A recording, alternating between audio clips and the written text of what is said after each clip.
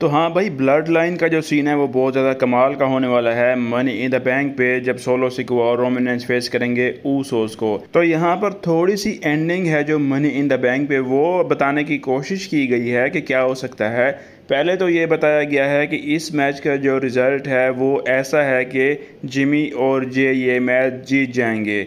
पहले ऐसा ही बताया गया था कि जी रोमन रेंस को ही पिन करेंगे जे ऊसो वो तो चलो बात की बात है, अब देखते हैं क्या होता है। लेकिन अभी के मुताबिक ऊसोज ये मैच जीत जाएँगे। और इसमें एक और ट्विस्ट है जो इस अपडेट को बताने का मेन मकसद है, वो है सोलो सिकोवा ये आप पिक्चर में भी देख रहे हैं स्नैप है, ये बेसिकली एक अपडेट है। इसमें यही बताया गया है कि सोलो सिकोवा के बारे में कुछ नहीं कहा जा सकता कि भाई वो क्या करने वाले हैं। यहाँ पर साफ़ साफ़ लिखा है समथिंग गोटा हैपन्स विद सोलो सिकोवा यानी कि यहाँ पर पॉसिबिलिटी है कि समथिंग यही हो सकता है कि वो भी रोमन रेंज को बिट्रेल करके ऊसोज अपने भाइयों को ज्वाइन कर लें, क्योंकि इसके अलावा तो उनकी और कोई पॉसिबिलिटी नहीं होती।